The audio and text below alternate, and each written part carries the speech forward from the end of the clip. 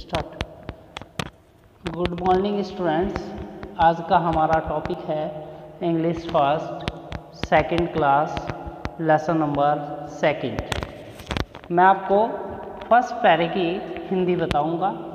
आप बोर्ड से हिंदी मिलाते हुए चले और मैं किताब से इंग्लिश पढ़ के आपको हिंदी बताऊँगा। First there were two boys who lived in a village दो लड़के एक छोटे से गाँव में रहते थे। दे वर फ्रेंड्स वे दोनों मित्र थे। They had no work in the village उनके गाँव में कोई कार्य नहीं था या उनके लिए गाँव में कोई कार्य नहीं था।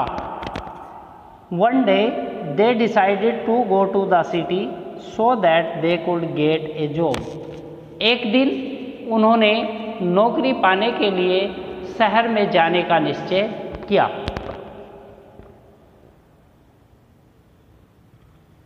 The city was far from their village शहर गाँव से बहुत दूर था। There was a thick forest through which they had to pass so that they decided to help each other